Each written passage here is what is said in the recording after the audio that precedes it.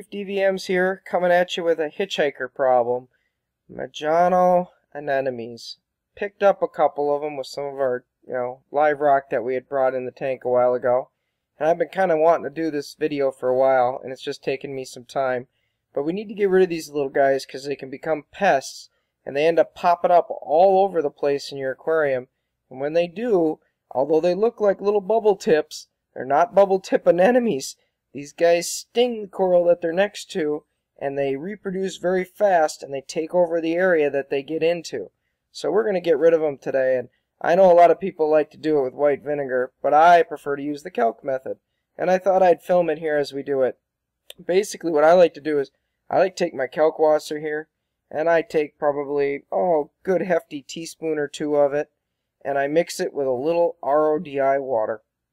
I don't want very much RODI water. I want to keep it a kind of a thick, heavy slurry so that I can put it into a syringe with a small needle on it. Uh, you know, 3cc needle or a little TB needle that's used for, you know, giving insulin to a diabetic. Whatever you can find at the drugstore will work. Um, but basically, I'm going to mix it into a slurry here. Once I get it to the consistency here that I want, I'm just going to suck it up into the syringe. We're going to go over to the tank, and we're going to basically shoot it into these guys and give them a lethal dose of this Kalkwasser. And this stuff, I mean, within like that, they're gonna start dying. It's it works great. It's a good way of getting rid of them. Um, certainly, it's it's my favorite way of, of of getting rid of them. I've only had them a couple other times. Um, this outbreak came because of some live rock that was contaminated. As you can see, you just stick that needle in there, give a little squirt, I've got the power heads off right now in the tank, which helps. And as you can see that, you know, kalk mixture just kind of oozes out and just kills them. If you can get it right into the center of these guys, it's almost like they explode from the pressure of the kalk. I love doing it. It's just quick, easy, simple.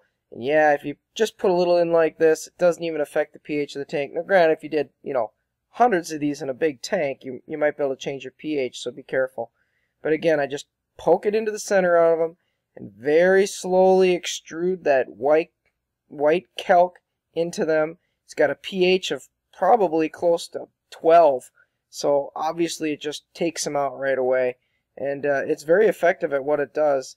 And once I put this needle in there and I fill them up and I do it, by tomorrow these things will be gone. It's just, it's great. I love doing it this way. It's my favorite way of doing it. I certainly appreciate you guys watching my video as I knock off some Majano uh, anemones that I did not want. Yes, I know they look like bubble tips, but they're not the type of bubble tip you want in your reef. They'll take it over. They end up stinging the coral that's next to them, and they pop up all over the place. So if you see these little hitchhikers with these little bubble tips on them popping up, I highly recommend getting rid of them. Appreciate you guys watching my video here on how I got rid of these guys. Certainly, if you have any questions or comments, feel free to post them. If you'd like to see more reef videos, and or any of our other videos that are coming out, please like or subscribe to our channel.